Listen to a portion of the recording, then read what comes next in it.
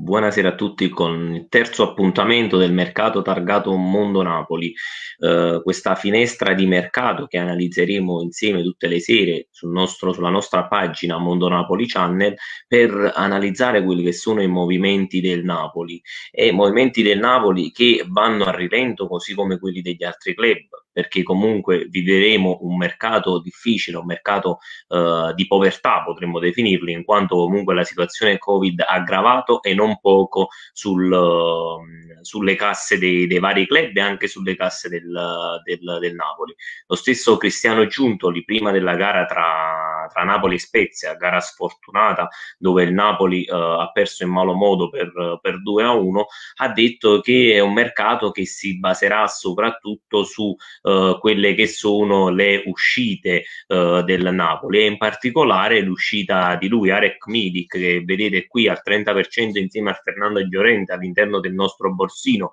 borsino che trovate aggiornato sulla nostra app H24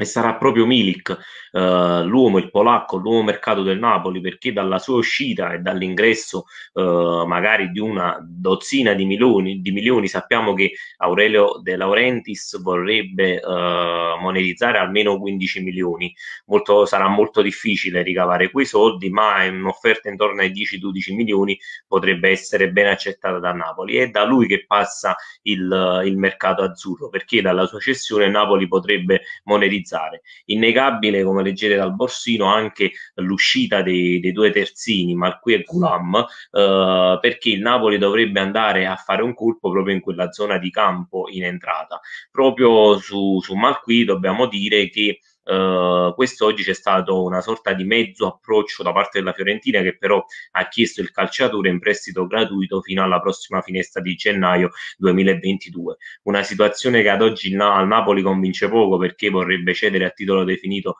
de, definitivo il, il, franco algerino. Non ci resta che attendere gli sviluppi delle, delle prossime giornate. Quindi mercato del Napoli bloccato proprio perché bloccate sono le uscite. Lo stesso Fernando Llorente che troviamo qui con il 30%, si parlava di un possibile ritorno alla Juve, ma in realtà la Juve pare essere molto vicina invece al ritorno di Fabio Guagliarella e quindi questo potrebbe chiudere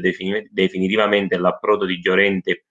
alla Juventus, ma su Llorente il Napoli sta comunque facendo delle riflessioni. Mertens infortunato, uh, Osimen col Covid e ancora non al 100% per l'infortunio alla spalla, uh, il solo Petagna uh, diciamo a condurre l'attacco azzurro potrebbe essere quindi importante trattenere Llorente, quindi per questi motivi qua si presume che Llorente potrebbe uscire, se mai uscisse, solamente alla fine del mercato. Tra l'altro Llorente non porterebbe, tra virgolette, guadagni a Napoli, in quanto la sua uscita, essendo il suo contratto in scadenza a gennaio, molto probabilmente sarà un'uscita a zero, giusto per liberarsi dall'oneroso ingaggio di 2 milioni e mezzo. In entrata ci sono delle notizie positive, soprattutto dal fronte Verona. Infatti, quest'oggi eh, pare ci sia stato un affondo importante del Napoli eh, per Mattia Zaccagni, trequartista esterno, eh, tuttocampista potremmo dire del Verona, che tanto sta facendo bene e tanto sta incantando con la, con la maglia giallo-blu.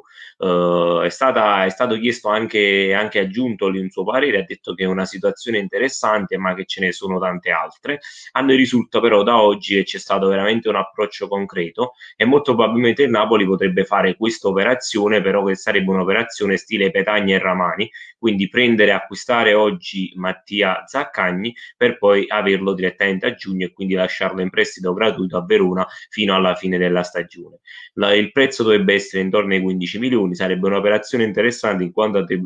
sarebbe messa a bilancio solamente a giugno e quindi Napoli si assicurerebbe già da ora un calciatore per giugno che tra l'altro nello scacchiere attuale del Napoli nel 4-2-3-1 potrebbe essere molto interessante sia per sostituire il trequartista che ad oggi lo sta facendo Zielischi sia comunque per dare uh, fiato ad Insigne nel ruolo di esterno sinistro. Gli altri due nomi sono i due terzini, sappiamo che il Napoli è carente